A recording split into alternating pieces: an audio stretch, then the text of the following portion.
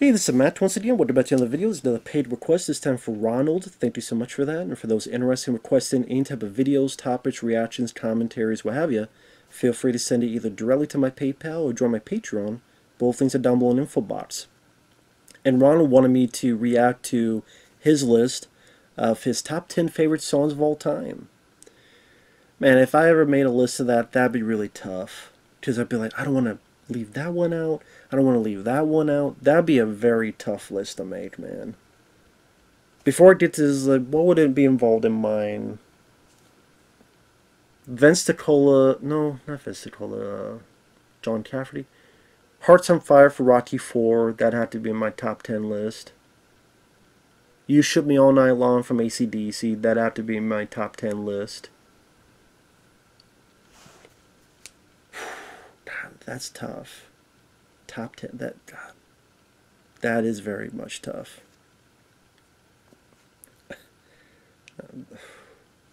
But anyway the end of the Ronald's list number 10 the Cars Drive. I do like that song. I remember hearing that quite a few times back to the day going through various stores where they play music uh, which I don't really hear that nowadays when I go in a store where they play music on the speakers. But like you hear songs like that. It's soothing. It's a good rep- representation of the 80s. Who's gonna drive you home tonight? Who's gonna do do do? It's alright. I thought it had a sweet beat, had a nice voice to it. Who's gonna drive you home tonight?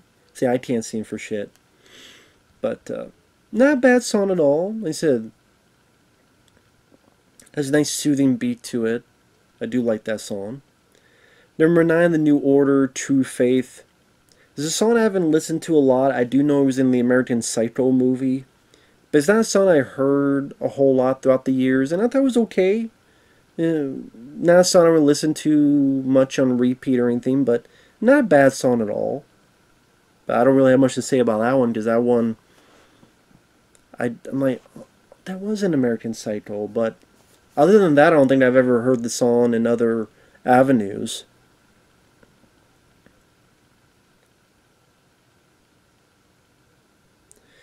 The your number eight is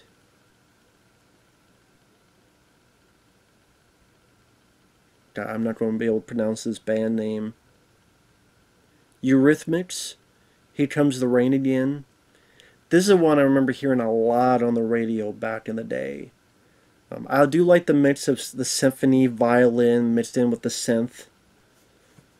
So baby, talk to me, talk to me, like lovers do. Walk with me, like lovers do. Do do do do, do do do do boom, boom, boom, da da da da da da boom, boom, boom. Like I said, it's one on the radio that you would listen to, but okay, this getting a nice beat to it. Like in the synth type of score, and then the violin mixed into it, brought, brought a nice different feel to the song. So I do like that one. These pretty decently. Number seven, Billy Idol, Rebel Yell.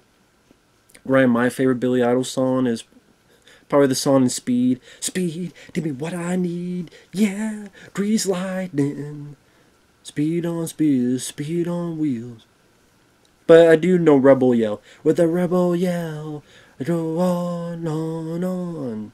With a Rebel Yell. Billy Idol definitely had that catchy, strong voice that uh, made it fun to, to rock out to. Because he also had the song White Wedding. Billy Idol is definitely a guy that also represents the 80s in a good way. so, again, I wouldn't say it's a favorite song of mine, but I do think that's a pretty decent song.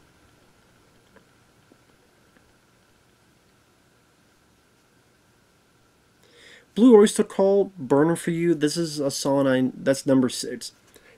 I know I've heard this song from time to time on the radio. I thought it had some decent melody and guitar work.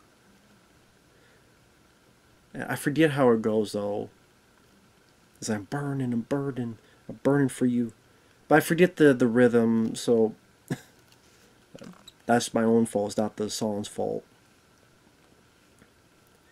But definitely felt like a bit of a I don't know if I want to say a softer song from Blue Oyster Cult, but did seem like their normal pastiche of music. But I thought it was a pretty good song, definitely one of their bigger hits. My favorite from that band is Don't Fear the Reaper.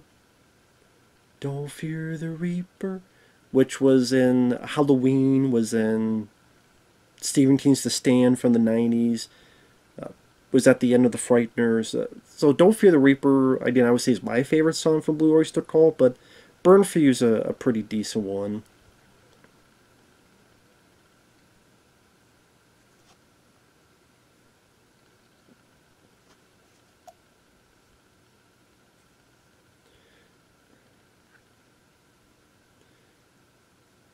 Number five, After the Fire, Der Commissar.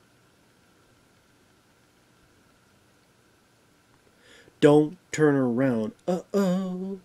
Der Commissar's tongue, uh oh. No, and tone, what the fuck is that?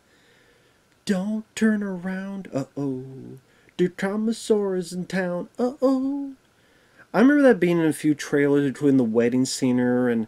Uh, not a bad song Again, that's another song that you hear a lot on the radio. Funny enough, a lot of these songs are like 1982, 1983, 1984, 1982, 1984, once 1988. So, again, another song I don't mind. I don't really have much to say other than that. Uh, number four, is Michael Jackson's Billie Jean, and number three is Michael Jackson's Beat It. Nice to see two Michael Jackson songs on there. You know, Billie Jean is not my lover. And of course, Beat It, Beat It. Of course, now whenever I think of it, I'm like, Beat It, Beat It, Beat It, Beat It. You know, there's a different Beat It. Yeah, I, I can't help it. Maybe it's just the perverted septic tank of my brain. It's just like, beat it, you know. So it's a different kind of beat it. That I always think of Weird Al Yankovic as eat it, eat it, eat that shit and like it. Okay, that's not the lyrics, but still. But I do like those two Michael Jackson songs. It's definitely two of the songs I like, other than Thriller, from that album. But I would say there there's other Michael there's other Michael Jackson songs I do prefer personally. Uh, Man in the Mirror, They Don't Care About Us, Smooth Criminal. There are songs I do prefer. Like that one I heard recently, I forget the title, something in Moscow. That was a nice surprise. Because I had not heard that song before. So again, there's other Michael Jackson songs I prefer. Thriller, I would say I prefer over those two, but those are two classic songs that people definitely know about. Whether you like Michael Jackson or not, people know about those songs, so I did two good choices. Number two, Laura Branigan Self Control. There was another guy, I forget who it was, that also had this on their list. I don't, I don't know if it was you or, well, obviously it's your list, but I know there was someone else that had this song on their list, Laura Branigan Self Control.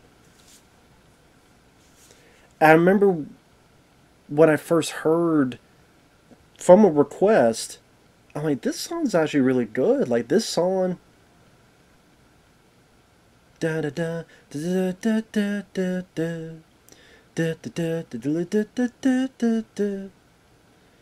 Uh, this is a song that has really nice guitar work, and I remember when I first heard it, thinking, and I listened to it again now, this could have worked in an 80s movie. Like, action movie or whatever movie. Doesn't have to be action, but whatever, where this would be the way it opens with this song playing in the background. And it would fit perfectly. In fact, I'm surprised this wasn't used in a movie. It would seem absolutely fitting for it. Unless it is, and I just don't know about it. But yeah, I do enjoy that song. Uh, I would probably say, of the ones you listed, probably my favorite song of this 10. If I had to pick a favorite of the 10 you mentioned, it'd be that one. So, pretty cool choice. And number one was Q Lazarus Goodbye Horses. This is another one that I swear was in another top 10 list I, I reacted to. Goodbye Horse. Only that I think in their list it was much lower down on the, the list. But Goodbye Horses. Q Lazarus, that was of course in Sounds of Lambs. Also in uh, Clerks 2 in a certain scene. Uh, tucking it in, so to speak. But it's definitely a song I, I know of, heard many times after Sounds of Lambs came out. Down, down, down there, goodbye. This is a very weird, uh, different sound for a song, but not a bad song at all. It's just anytime I hear it, I always think of Ted Levine and Sounds of Lamb, so anytime I hear the song, I think I'm going to turn around and someone's going to be skinning someone. I'll put the lotion on the skin, or you get the hose again. So anytime I think that, so it, it's hard to, for me to enjoy the song because again, I keep thinking any minute now I'm going to get a phone call.